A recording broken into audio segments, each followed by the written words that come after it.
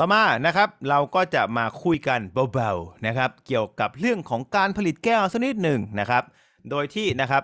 รายละเอียดนะครับมีในหนังสือและมีในสไลด์นะครับนะถ้าใครสนใจไปอ่านเพิ่มเติมได้นะผมสรุปให้ฟังมีอยู่ 4 วิธีในการผลิตแก้วนะผมจะเขียนว่าวิธีนะฮะแล้วก็รายละเอียดครับโอเคนะครับวิธีในการผลิตแก้วนะครับ อย่างแรกก็คือเขาเรียกว่า drawing นะครับ เหมือนวาดรูปไม่ใช่นะ อันนี้ไม่ใช่ draw draw แปลว่าดึงขึ้นมานะเหมือนในเราเวลาเราคุยเรื่องโลหะเขาที่แล้วเราบอกว่ามันมีเทคนิคชื่อ drawing ใช่ไหมครับ เพราะฉะนั้นเทคนิคนี้เขาเรียกว่าเป็นการดึงนะฮะแผ่นแก้ว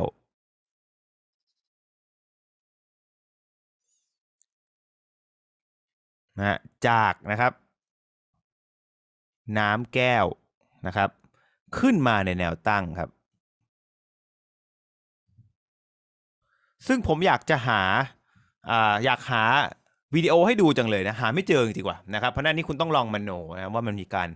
ดึงแก้วจากน้ำแก้วขึ้นมาในแนวตั้งนะครับ แต่ว่าอันอื่นผมมีตัวอย่างให้ดูนะครับ วิธีที่สองนะฮะก็คือ rolling นะครับ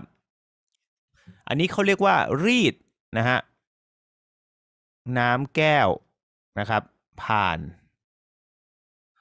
แกนโลหะครับผม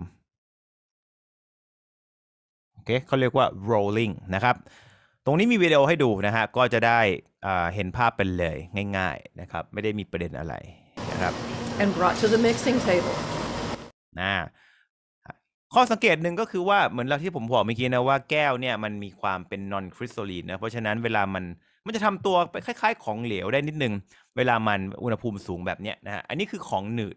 สังเกตว่ามันจะยืดมันจะมันจะเยิ้มเยิ้มๆเนาะ มันแต่ว่ามันไม่ มันไม่ใช่ของเหลวนนี้ไม่ใช่ของเหลวนะ ถ้าของเหลวต้องบรึดไปเลย อันนี้มันยังเกาะตัวกันอยู่ แต่ว่าข้อดีของมันก็คือคุณสามารถเอาไปขึ้นรูปได้ ค่อนข้างที่จะให้มันแบบมีมีความยืดหยุ่นในการขึ้นรูปสูงแบบนี้นะครับ แล้วก็ตรงนี้ก็คือร้อนนะฮะ แล้วก็อย่าไปจับมันนะครับ เวลาเขาเป่าแก้วมันร้อนอยู่นะครับนะครับในวิดีโอนี้มีมีให้ดูสักพักหนึ่งเลยนะฮะเกี่ยวกับการที่แบบเขาไปเอาออกมาจากน้ำแก้วเนาะแล้วก็ เอาไปรีดอะพูดง่ายนะครับโอเคนะต้องอาจจะต้องวิ่งแบบนี้ด้วยนะฮะต้องต้องบึกบึกแบบนี้ด้วยไม่งั้นมันหนักมากนะครับโอเคนะไอ้พวกนี้ก็คือใส่ใส่พวกสารเพิ่มเติมนะฮะใส่ธาตุไอ้ใส่พวกสารอื่นๆ เพื่อเพิ่มคุณสมบัติอะไรเงี้ยมากกว่านะแล้วก็ผสมกันแล้วก็เหมือนไอติมนะฮะเหมือนทำทำโมจิดีไหมนะครับพูดง่าย ประมาณนี้นะครับโอเคนะเห็นภาพเป็นการรีดเข้าไปนะครับน่ากินมากนะครับโอเค ลองไปดูลองไปดูเองได้อย่างมอมมันนะครับโอเคอันนี้คือ rolling นะครับ ต่อมามีสิ่งที่เรียกว่า floating นะครับนะครับ floating ก็คือการปล่อยให้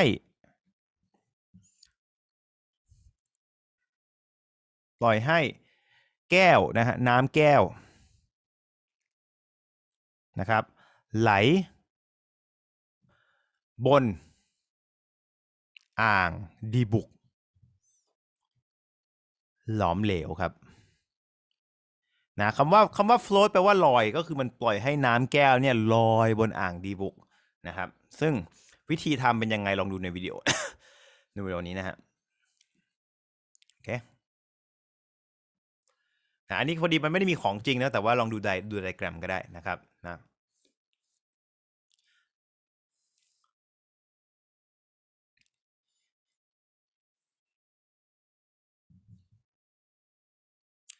อันนี้ก็จะมีเขาเรียกว่าการหลอมใช่ไหมฮะหลอมในส่วนของวัตถุดิบนะแก้วผสมกันเรียบร้อยนะครับ แล้วก็นี่เป็น molten glass นะครับ นะหลังจากนั้นมีการปล่อยให้ไอตัวแก้วเนี่ยมันลอยนะฮะอยู่บนอ่างดีบุกนะฮะโหหน้าลงไปมากเลยนะฮะทีนี้นะครับตรงเนี้ยนะครับเขาเคลมว่าวิธีเนี้ยมันทำให้เราได้แก้วที่มันมี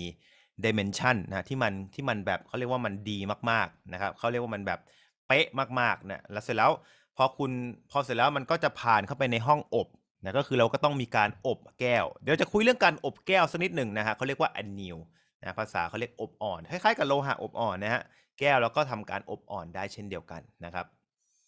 เคเห็นไหมครับนะเขาเรียกว่าอันนี้เรียกว่าเป็น floating นะครับวิธี floating แล้วเดี๋ยวก็เข้าเครื่องตัดอะไรก็ว่าไปนะครับ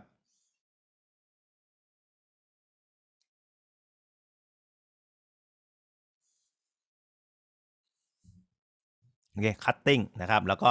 แล้วก็ตามนั้นนะเขาบอกวิธีนี้เป็นวิธีที่ไฮโซนะฮะ ได้แก้วที่มีมาตรฐานขนาดที่ที่เยี่ยมนะขนาดที่เป๊ะแล้วก็คุณภาพดีนะครับ ทีนี้ ผมอยากให้ดูตัวอย่างนิดนึงก็คือว่า ผมมีอีกลิงก์หนึ่งนะฮะที่เป็นที่เป็นโรงงานนะผมไปหามาเล่นๆนะผมอยากรู้ว่าเออมันมีขายจริงหรือเปล่าก็คือมีนะลองดูตรงนี้สมมติถ้าเกิดคุณดูบริษัทนี้นะอันนี้ไม่เกี่ยวกับผมไม่ได้โฆษณาบริษัทนี้นะผมเจอบริษัทแรกผมก็เลยเอามา ก็คือว่า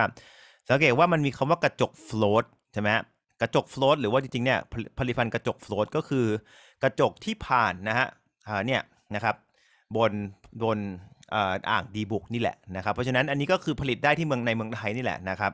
แล้วก็แล้วก็ถ้าเกิดเราอ่านก็คือจะเป็นเป็นกระจกที่เป็นเกรดดีหน่อยนะเพราะฉะนั้นถ้าเราถ้าเราอยากได้กระจกเทพๆก็กระจก float นะก็คือ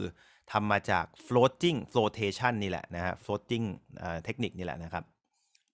อ่าเพราะฉะนั้นอันนี้ ผ่านไป วิธีสุดท้ายเราจะคุยกันวันนี้นะครับ คือสิ่งที่เรียกว่า pressed and blow นะฮะโอเคเขาเรียกว่าการอัดน้ำแก้วนะฮะลงใน แม่พิมพ์ แล้วเป่าครับโอเค press ก็คืออัด blow ก็เป่านะฮะฟังดูไม่ค่อย make sense หรือเปล่านะครับ ลองดูกวิดีโอนะฮะแล้วมันจะเก็ตมากๆว่ามันทำอะไรนะครับ มันคือเอาไว้ทำขวดแก้วพวกนี้แหละนะครับ ลองดูนะ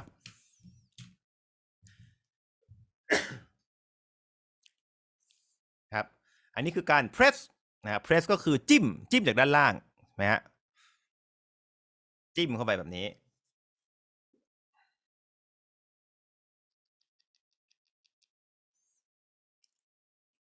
แล้วเอาไป blow ดูตอน blow นะฮะ blow ออกมาให้เป็นขวดเห็นไหมฮะ press and blow เอาไปทำขวดแก้วนี่แหละครับ ประมาณนี้